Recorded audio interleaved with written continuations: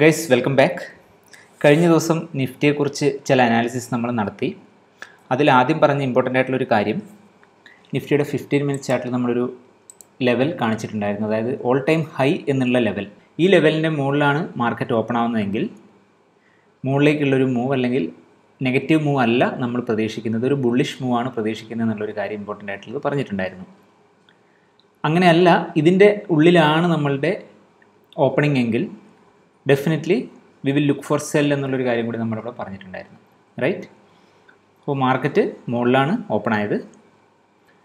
അതിനുശേഷം ഇതൊരു complete side vice market തന്നെയാണ് ഇന്നുണ്ടായിരുന്നത്. ലാസ്റ്റ് മൊമെന്റിൽ ഒരു ചെറിയൊരു അപ്പ് മൂവ്മെന്റ് കൊടുത്തു. മാർക്കറ്റ് ഡെഫിനറ്റ്ലി ബുള്ളിഷ് തന്നെയാണ്. നമ്മൾ കഴിഞ്ഞ ദിവസം പറഞ്ഞ ഡബിൾ ടോപ്പിനെ കുറിച്ചൊക്കെ പറഞ്ഞ കാര്യം അത് ഇൻവാലിഡ് ആണ്. കാരണം മാർക്കറ്റ് അതിന്റെ മുകളിലായതുകൊണ്ട്. കേസ് അപ്പോൾ ഈ ഒരു കണ്ടീഷനിൽ നമ്മൾ ശ്രദ്ധിക്കുന്നത് മാർക്കറ്റ് ബൈ ചെയ്യാനാണ്. ഈ ഒരു ലെവൽ ക്രോസ് ചെയ്യുകയാണെങ്കിൽ പിന്നെ നമുക്ക് അഗെയിൻ റീതിങ്ക് ചെയ്യാം. ബട്ട് മാർക്കറ്റ് എന്താണോ നമ്മളോട് പറയുന്നത് ജസ്റ്റ് അത് ഫോളോ ചെയ്യുക. മണി ഓട്ടോമാറ്റിക്കായിട്ട് വരും. കഴിഞ്ഞ ദിവസം നമ്മൾ ഡിസ്കസ് ചെയ്ത ഇമ്പോർട്ടന്റ് ആയിട്ടുള്ള സ്റ്റോക്സിലൊരു സ്റ്റോക്കാണ് ടാറ്റ സ്റ്റീൽ ഇതിനെക്കുറിച്ചൊരു ചെറിയൊരു വീഡിയോ ക്ലിപ്പ് ഞാനിന്ന് ടെലഗ്രാം ചാനലിൽ പോസ്റ്റ് ചെയ്തിട്ടുണ്ടായിരുന്നു. ഒരുപാട് ആൾക്കാരുടെ ഡൗട്ടായിരുന്നു ഇന്ന്. നമ്മൾ ഇന്നലെ പറഞ്ഞ ലെവൽ എന്ന് പറഞ്ഞാൽ ഈ ഒരു ലെവൽ ബ്രേക്ക് ചെയ്യുകയാണെങ്കിൽ അത് താഴേക്ക് പോകാനുള്ളൊരു സാധ്യതയെക്കുറിച്ച് പറഞ്ഞിട്ടുണ്ടായിരുന്നു. റൈറ്റ് അപ്പോൾ പല ആൾക്കാർക്കും ഡൗട്ടുണ്ട് ഇത് ബ്രേക്ക് ചെയ്തു. പല ആൾക്കാരുടെയും സ്റ്റോപ്പ് ലോസ് ഹിറ്റായി ഇവിടെ പറയാനുള്ള രണ്ട് മൂന്ന് ഇമ്പോർട്ടന്റ് ആയിട്ടുള്ള കാര്യമാണ്. അതിൽ ആദ്യത്തെ കാര്യം നിങ്ങൾ എത്രയാൾ ഓർക്കുന്നുണ്ടാവും എനിക്കറിയില്ല. നമ്മൾ കഴിഞ്ഞ അനാലിസിസ് വീഡിയോസിലെല്ലാം ഷെയർ ചെയ്യുന്നൊരു കാര്യമുണ്ട്. ഒരു eighty percentage of the analysis വീഡിയോസിൽ നമ്മൾ ഇമ്പോർട്ടന്റ് ആയിട്ട് പറയുന്ന ഒരു കാര്യമാണ്. മാർക്കറ്റ് ഒബ്വിയസ്ലി ബ്രേക്ക് ചെയ്യുന്നുള്ളൊരു കണ്ടീഷനിൽ എത്തി നിൽക്കുമ്പോൾ മാർക്കറ്റ് ഓപ്പൺ ആവുന്നത് മുകളിലാണെങ്കിൽ അതായത് ഈ ബ്രേക്ക് ഔട്ട് ലെവലിൽ നിന്ന് കുറേ മുകളിലാണ് ഓപ്പൺ ആവുന്നതെങ്കിൽ നമ്മളുടെ ബ്രേക്ക് ഔട്ട് ലെവൽ എത്താൻ മാർക്കറ്റ് ഓൾറെഡി നല്ലൊരു ദൂരം ട്രാവൽ ചെയ്തു കഴിഞ്ഞു. അതിനുശേഷം ഒരു ബ്രേക്ക് ഔട്ട് നടത്തിയാൽ പോലും പിന്നെ മാർക്കറ്റ് എത്ര ദൂരത്തേക്ക് മൂവ് ചെയ്യും എന്നുള്ളൊരു ഇമ്പോർട്ടന്റ് ആയിട്ടുള്ളൊരു ക്വസ്റ്റ്യൻ ഇത് നമ്മൾ പല വീഡിയോസിലും പറഞ്ഞിട്ടുള്ളതാണ്. നിങ്ങൾക്ക് ഓർമ്മയുള്ളവരാണെങ്കിൽ ഡെഫിനറ്റ്ലി കമന്റ് ചെയ്യുക. ഇതുപോലെയുള്ള സിമ്പിളായിട്ടുള്ള കോണ്ടെക്സ്റ്റാണ് നമ്മളെ നോർമൽ ട്രേഡേഴ്സിൽ നിന്നും വ്യത്യസ്തരാക്കുന്നത്. ആ കാര്യം മറക്കാതിരിക്കുക.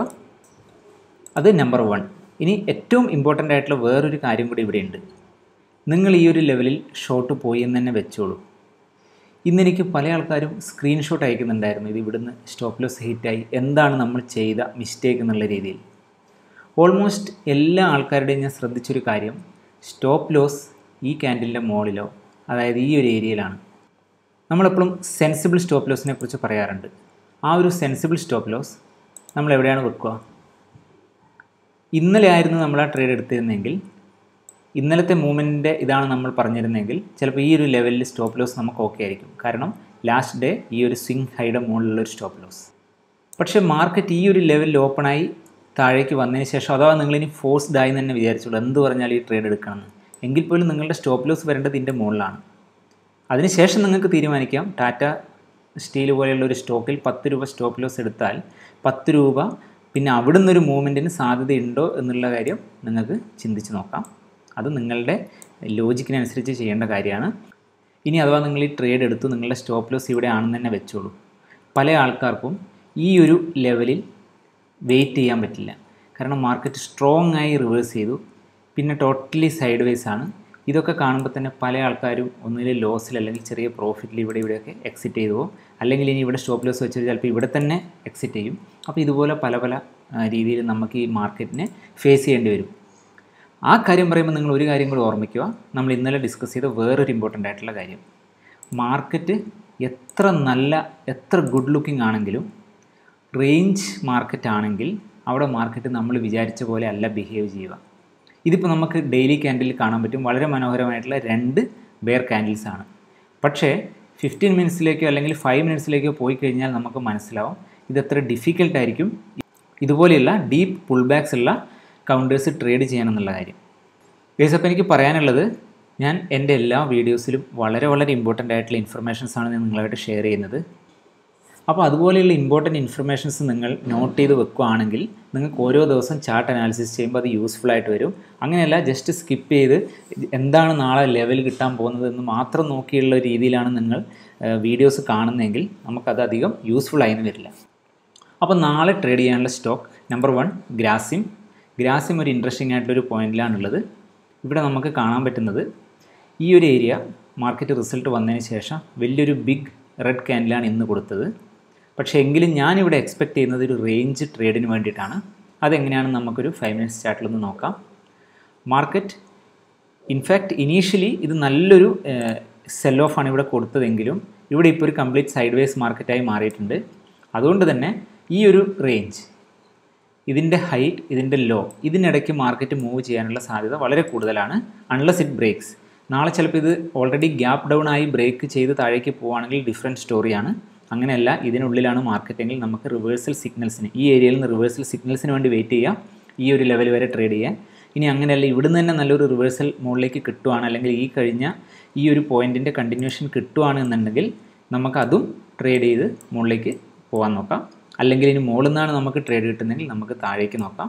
ഇതാണ് ഈ ഒരു സ്റ്റോക്കിന്റെ സിമ്പിളായിട്ടുള്ള ലോജിക് ഗൈസ് നെക്സ്റ്റ് നമ്മളുടെ സ്റ്റോക്ക് ഏഷ്യൻ പെയിന്റ് ഈ ഒരു കണ്ടീഷനിൽ കണ്ടിന്യൂസ് ആയിട്ട് നാല് ദിവസം സ്റ്റോക്ക് താഴേക്കാണ്. ഇന്നത്തെ ഒരു മൂവ്മെന്റ് കുറച്ചുകൂടി ഒരു പ്രോമിസിങ് മൂവ്മെന്റ് ആയിട്ട് തോന്നുന്നുണ്ട്. അപ്പോൾ മാർക്കറ്റ് താഴേക്ക് വരാനുള്ളൊരു ചാൻസ് ഇത് ഫോളോ ചെയ്യുവാണെങ്കിൽ. അപ്പോൾ ഒരു കാര്യം നിങ്ങളെപ്പോൾ ഓർക്കണം. വളരെ നന്നായി കാണുന്ന പല സ്റ്റോക്സും നമ്മൾ വിചാരിച്ച പോലെ മൂവ് ചെയ്തു എന്ന് വരില്ല ടോട്ടലി റേഞ്ചിങ് ആയിട്ടുള്ളൊരു മാർക്കറ്റിൽ പക്ഷേ നമ്മൾ ചെയ്യാൻ പോകുന്നത് നമ്മളുടെ അനാലിസിസ് അതിനനുസരിച്ച് മാർക്കറ്റ് വരുന്നുണ്ടെങ്കിൽ നമ്മൾ ട്രേഡ് എടുക്കുന്നു. ഇപ്പോൾ നിങ്ങൾ കുറേ ദിവസമായിട്ട് നമ്മളുടെ ടെലിഗ്രാം ചാനലിലൊക്കെ നമ്മൾ കാണുന്ന കാര്യമാണ്. ക്ലിയർ ആയിട്ട് ലെവൽസ് ഉണ്ടെങ്കിൽ നമ്മൾ ട്രേഡ് എടുക്കുന്നു. നിങ്ങൾക്ക് ഷെയർ ചെയ്ത് തരാൻ പറ്റുന്ന ലെവൽസ് ആണെങ്കിൽ ഡെഫിനറ്റ്ലി ഷെയർ ചെയ്ത് തരും.